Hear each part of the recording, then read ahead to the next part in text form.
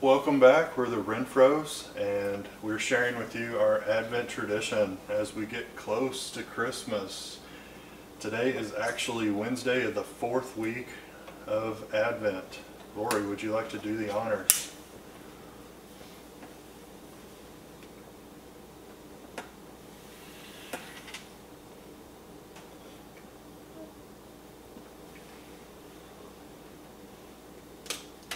Very nice. Randy, would you like to do the honors of reading our scripture reading?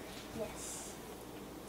Lo, I will send you Elijah the prophet before the day of the Lord comes, the great and terrible day.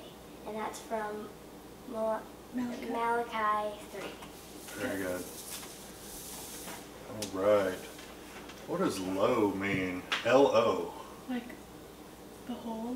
I think so. It's kind of an expression of surprise and, you know, pay attention to what I'm going to say. So, who was Elijah? And uh, that's correct, a prophet. And he was one of the ones that was bodily assumed into heaven, like Mary. In the New Testament, Jesus refers to whom as the new Elijah, his cousin, who was about six months older than him. who- John the very good, very good. Because he was a messenger. He was announcing, prepare the way of the Lord, make straight his paths. Remember that?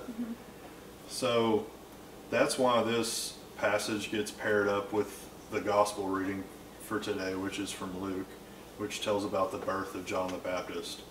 Um, it's making that parallel that Jesus made between Elijah being this messenger and John the Baptist. Um, talking about the day of the Lord when he comes. This comes to us from the chapter of the Old Testament script, scripture telling us about the messenger of the covenant. Elijah was bodily assumed into heaven. There is no grave for him in this world. And it was prophesied that he would return as this messenger. But Jesus revealed that Elijah's return was fulfilled by St. John the Baptist. Today's gospel reading comes to us from Luke 1, the part about John being born. So it pairs very nicely with this passage from Malachi. And it means that Christmas is almost here. Are you excited? Mm-hmm. All right. Well, very good. Would you like to do the honors? Oh. Oh, that was a good one. I was about to help out. Very good. There's a lot of smoke now. Happy Advent. And Come, Come,